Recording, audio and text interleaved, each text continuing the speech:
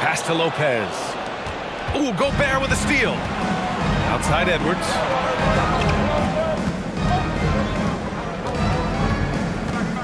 Driving to the basket.